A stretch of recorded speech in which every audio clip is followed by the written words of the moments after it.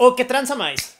No los había visto. En el video de hoy les daré tres tips para mejorar su técnica en muy poco tiempo, ya que así vamos a dominar los mini licks y cualquier canción que ustedes quieran en menos de lo que canta un gallo. Uno de los errores más comunes es comenzar a tocar rápido los licks o solos.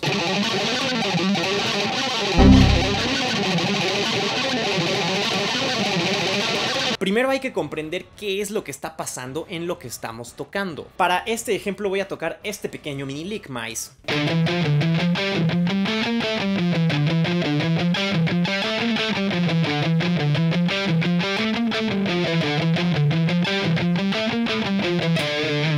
hay que comprender qué es lo que realmente pasa en el riff de manera muy lenta, entender cómo está hecha esa sección realmente.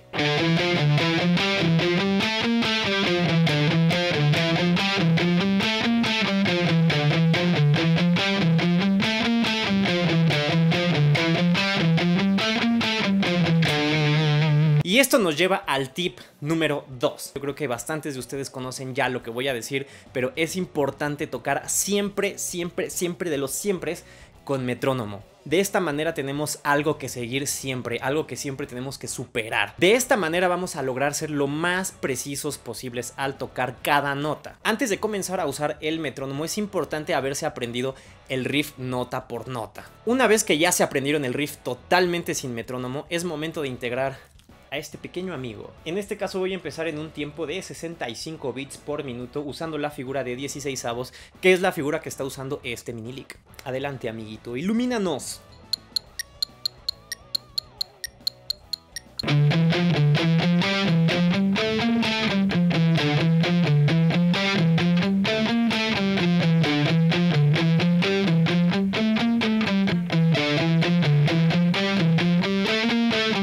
Que no solamente sea una maquinita sonando ahí más, hay que también incorporar el groove al cuerpo, hay que sentirlo.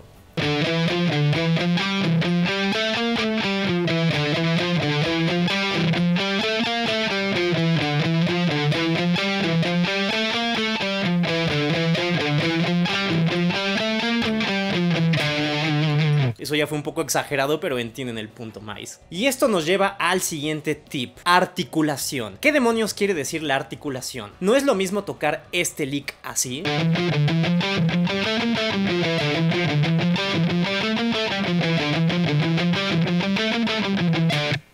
¿Qué así?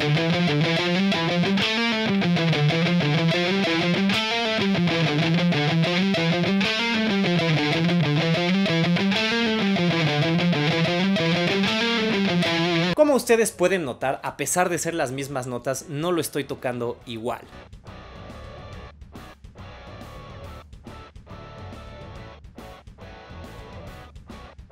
La primera vez que lo toqué lo estaba tocando exclusivamente con puro alternado. La segunda vez que estaba tocando este mini lick estaba usando un slide y un hammer on con pull off.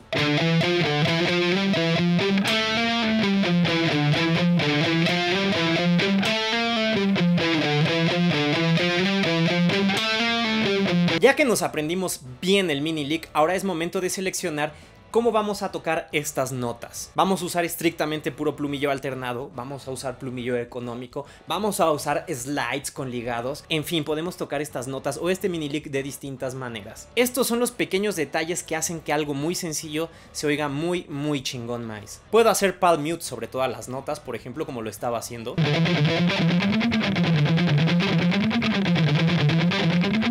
Quizá en algunas partes pueda usar palm mute y en otras no.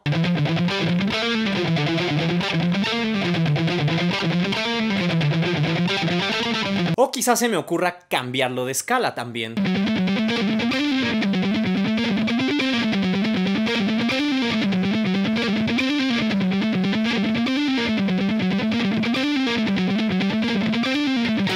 No importa qué tan complejas o sencillas sean nuestras ideas, si empezamos a articularlas van a empezar a sonar muchísimo mejor. Y estos fueron algunos tips para que ustedes mejoren su técnica en menos de lo que canta un gallo.